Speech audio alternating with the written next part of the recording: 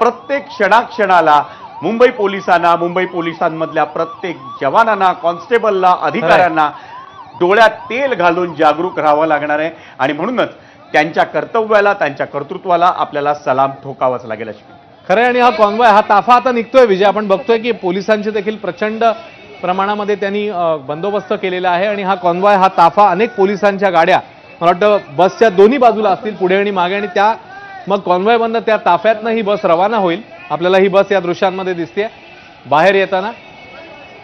ही बस आपल्याला दिसते अश्विन. आणि पुन्हा एकदा जर सांगायचं झालं तर पुन्हा एकदा अशीच बस होती एकोणीसशे त्र्याऐंशी साली जेव्हा कपिल देवचा भारतीय संघ याच्यामध्ये सुनील गावस्कर होता मुंबईचा ज्याच्यामध्ये दिलीप वेंगसरकर होता ज्याच्यामध्ये मुंबईचा रवी शास्त्री होता.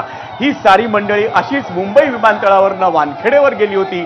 आणि त्यानंतर दोन हजार सात साली कदाचित त्याच विमानातनं मुंबईत दाखल होण्याची संधी मला मिळाली कारण त्यावेळी एबीपी माझासाठी ट्वेंटी ट्वेंटीचा विश्वचषक कव्हर करण्याची मला संधी मिळाली होती. आणि त्या पहिल्याच प्रयत्नात महेंद्रसिंग धोनीच्या टीम इंडियानं ट्वेंटी ट्वेंटीच्या विश्वचषकावर आपलं नाव कोरलं त्याच विमानातनं तो संघ जेव्हा आला मुंबईत दाखल झाला आणि मुंबईत तो संघ पुन्हा एकदा अशाच बसनं किंबहुना त्यावेळेला ओपन डेक बस जी आपल्याकडे एम टी डी सीची बी एस टीची बस होती.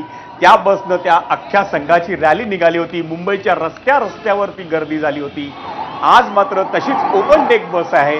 पण ते स्वागत एन सी पी ए ते वानखेडे स्टेडियम एवढ्या मर्यादित पट्ट्यातच होणार आहे. पण मला वाटतं ज्यावेळी ही बंदिस्त बस जाईल ना मुंबईच्या रस्त्या रस्त्यावर तेव्हा देखील मुंबईच्या रस्त्या रस्त्यावर एक छोटा रोहित शर्मा एक छोटा विराट कोहली एक छोटा हार्दिक पंड्या या सगळ्यांच्या स्वागतासाठी सज्ज असेल आणि तोच कदाचित पंधरा वीस वर्षांनी उद्या येणारा ट्वेंटी ट्वेंटी विश्वचषक आहे ना तो आपल्याला जिंकून देणार. अश्विन. खरं आहे आणि जसं आपण म्हणतोय की क्रिकेट आपल्या रक्तामध्ये ते मुर मुरतंय ते झिरपतंय आणि ते पुढे जाऊन जसं आता विजयनी सांगितलं की उद्याची रोहित शर्मा उद्याचे विराट कोहली आपल्याला याच्यातनंच मिळत असतात हीच प्रेरणा असते आणि त्याच आपल्या प्रेरणा स्त्रोतांना बघण्यासाठी आपल्या इन्स्पिरेशनना आपल्या आयडॉलना बघण्यासाठी हे सगळे चाहते जे आहेत ते जमलेले आहेत. वानखेडे असेल किंवा मग आपण नरिमन पॉईंटचा बघा भाग बघितला.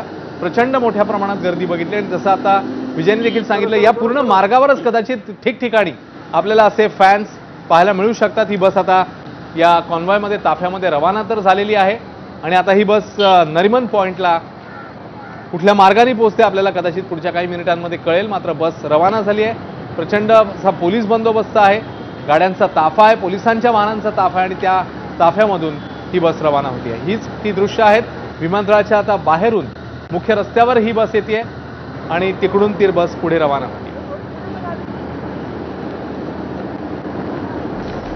आणि त्याचवेळी मगाशी आपण मुंबई पोलिसांनी केलेलं आवाहन देखील पुन्हा एकदा आपल्या प्रेक्षकांना सांगूया. मरीन ड्राईव्ह परिसरात अजिबात गर्दी करू नका असं आवाहन मुंबई पोलिसांनी केलेलं होतं.